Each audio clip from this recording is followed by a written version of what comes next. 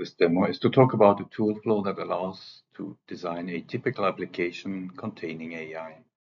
It's important to highlight that AI models cannot be designed in isolation. A chosen AI model has major implications on the pre and processing stages, and the dependencies between the selected use case, the pre and post processing, the AI model itself, the algorithmic performance, and the required computational resources is complex. In this demo, we present a single tool flow environment where trade-offs between the different optimization dimensions can be made. We have chosen DPD for this example, but the tool flow applies to many DSP-centric applications. Why do we think AI fits here?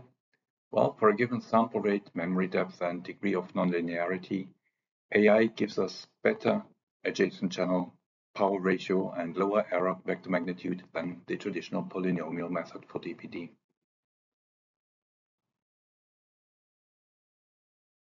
Now builds on an existing MathWorks demo.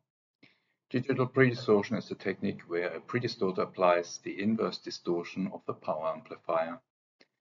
The entire training is performed in MATLAB, making use of the 5G toolboxes for generating and analyzing 5G signal pattern and using the deep learning toolbox to define and train a model for the predistorter. For inference, DSP Builder is used to bridge the gap between MATLAB models and implementation in FPGA.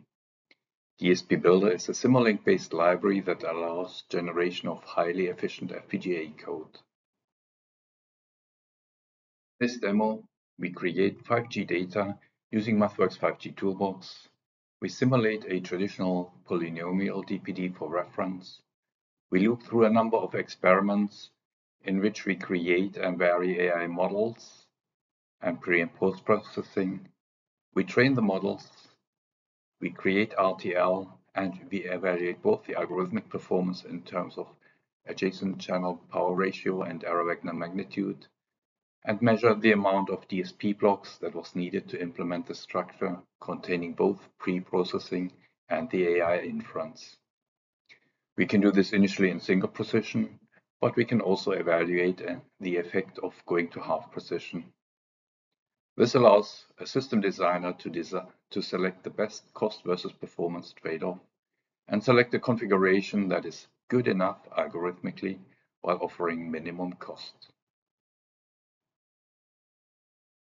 Component linking the MATLAB model into the DSP Builder domain is the fully connected network block. It accepts a MathWork variable that contains the DL network. That is a standard uh, structure that MathWork uses to describe trained networks. It contains all information about all layers and the key parameters for each layer, such as the weights and the biases. This allows DSP Builder to automatically generate the network on the fly. It also means that model changes can be performed in a few lines of MATLAB and the DSP Builder design updates itself automatically. In the top left, we see how the model is defined in MATLAB. It is configured for three memory terms and a nonlinearity factor of three in the top two lines. On the bottom left is the DSP Builder version. The key parameters affect the size of the model, but also the pre-processing. They enter the DSP Builder design as variables from the MATLAB workspace. The diagram to the right of it shows how the network variable is generating the desired inference model. Please note how the model definition in MATLAB matches this diagram with four fully connected layers and three leaky ReLU layers. Simulation shows the ACPR without DPD in yellow, with classic DPD in blue, and with a neural network-based DPD in red. We can see that the AI outperforms the non-AI version. We also get a report of the required resources. In this instance, 805 multipliers are required. Then we modify our model. Would it help to increase the memory depth and order of uh, nonlinearity? Two lines of code are changed. We retrain and resimulate. We find that the ACLR is only very marginally improved, EVM also improves, but the number of multipliers has increased from 805 to 4,399. That's a lot of extra cost for only a minor improvement. The third experiment, we switch our memory terms and nonlinearity back to 3. We also change our activation functions to tanh instead of leaky ReLU, and we add a layer. All of this is done with just a few lines of code changes in MATLAB. After retraining and simulation, we can now assess the new performance and resource usage. We can also change the precision from single precision floating point to half precision and go through the flow again.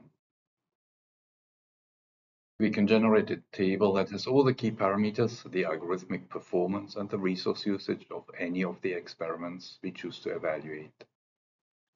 All this is done in MATLAB and Simulink where the designer is in full control of the entire system.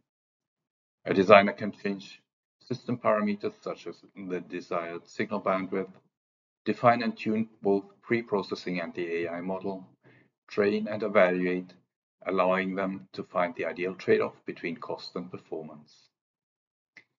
In the table, we can see that the 5x5 model gives the best ACPR and the lowest EVM, but does it justify the extra cost? With an environment that allows this comprehensive investigation, designers are in a position to experiment quickly and design a system that is good enough at minimum cost and power.